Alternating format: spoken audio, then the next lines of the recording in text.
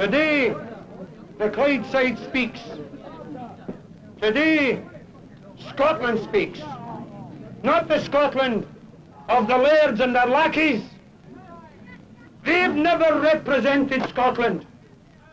Here in this demonstration, in this meeting today, is the real Scotland. The Scotland of the working people.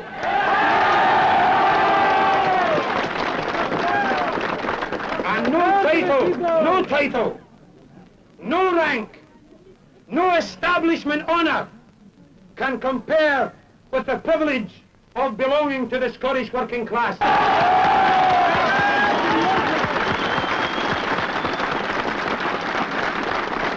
because we were aware of the pent-up anger and frustration of countless redundancies after redundancies, the crippling paralysis of small redundancies here and there with the cumulative effect of mass unemployment.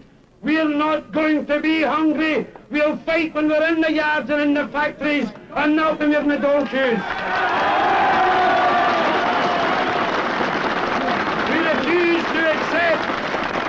a philosophy that says that economics control men.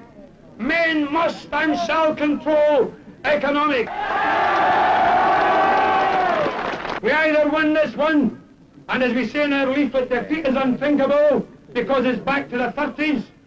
As if we lose, or we win it, and we reverse the whole trend and put the working class on the offensive, and I know that. They will never get us out of these yards.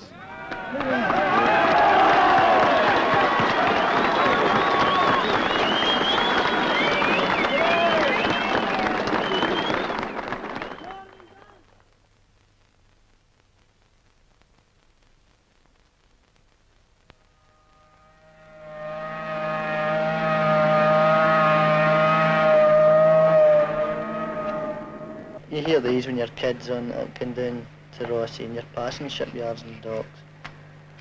There's all the different strange sounds. You don't know what it is. And you say, hey mister, what's that? You know, the guy says, oh, it's Fairfield such and such, you know, and that's a such and such ship. You know, that, that there you get the feeling for the yards. So when you're at school, you know, and that's why we sort of dodged school because we, started going to launches then. Because you see a ship in the water, you can never imagine it out of it.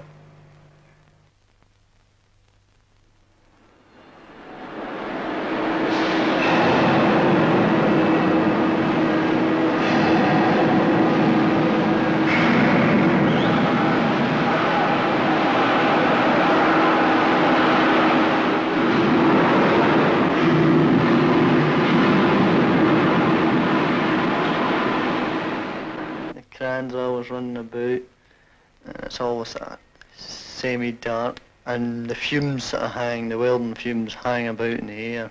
And you go home at night, your ears are sort of humming with the noise.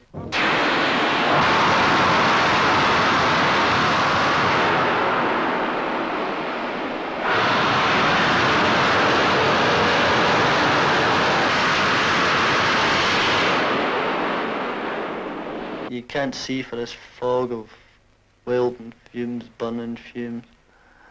Um, the the smoke from makeshift fires that the men have made to to keep themselves sort of warm or boil their tea.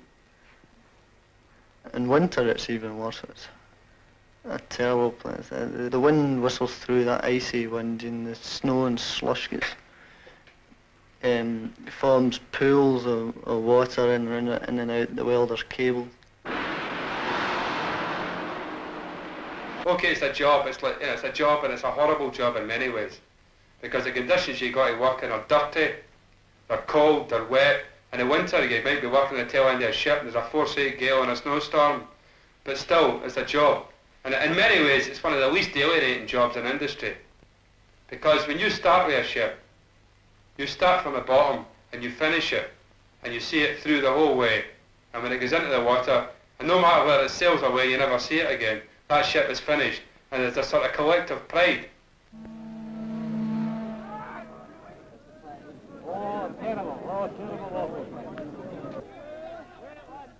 Ten years ago, when a ship finished, you moved on to another yard. that situation no longer applies. There are no other yards in Upper Clyde to move on to now. There's nowhere else for you to go to. You either go and sign the Dole or you move south to London. The situation here, uh, UCS, when we were being trained, were saying that they don't guarantee employment. Well, this is quite true. Um, when we started in Stephens, they didn't guarantee employment. But it was know, assumed that uh, they always employ their apprentices. Uh, was working in their Govan division. And then the training department came up uh, and they were going to upgrade boys. We naturally assumed that uh, they were selecting technicians for employment. They kept hedging when I, I was saying, uh, I hear they're looking for a boy. You know, I was asking for a job in maintenance in the Clydebank division. The training department gave me all sorts of nice little notes saying, uh, we would if we could, but we can't, you know. I was told I could get references from the personnel director, the managers of all the departments I worked in. All my work was good. When when it was made to them that uh, I actually wasn't a member of the company, they, they tried to con us with it, saying that uh, the training department in UCS is a separate company. I think it is UCS Training Limited. And of course we weren't notified that we weren't employed by UCS. So they're really trying to pull a fast one. Um, this was their way of getting out of paying me any redundancy money that they might be due. But as you say, if they're not going to employ them, these lads are going to be on the, the brew, the social security, which is already has a glut of tradesmen who can't get jobs. When your time is just out, companies don't want to know you. They say, well, what experience do you have? You know, we're really looking for someone with maybe three, four years experience. Well, the point is, how the hell can you get experience uh, if you won't get a job? You know, you have a job before you have the experience to get another one. That's the the situation up here now is that uh, I think they're trying to drive all their young people into the forces or uh, off abroad or have them uh, out beating the grouse for them and they're really um, training these boys, all different trades and shoving them into the yard to finish the rest of their training. Training, you know, virtually for redundancy. It's not just Rolls-Royce or UCS that's collapsing, it's the whole bloody system. The system of the bosses and the bankers which can't even guarantee us the right to work. UCS is still dominated by the old yard owners. They benefited from a merger of about 22 million in extra profit in the past three years. They seem incapable of understanding that with the international freight rates declining, with a general recession in the engineering industry, no matter how much cash or credit they sink into the system, it can no longer be salvaged. This is the crunch.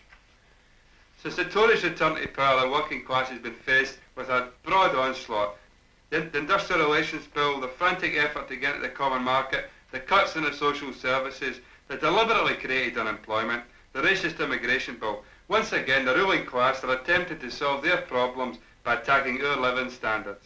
The threat of the UCS is part of this attack, and it must be seen as part of this attack.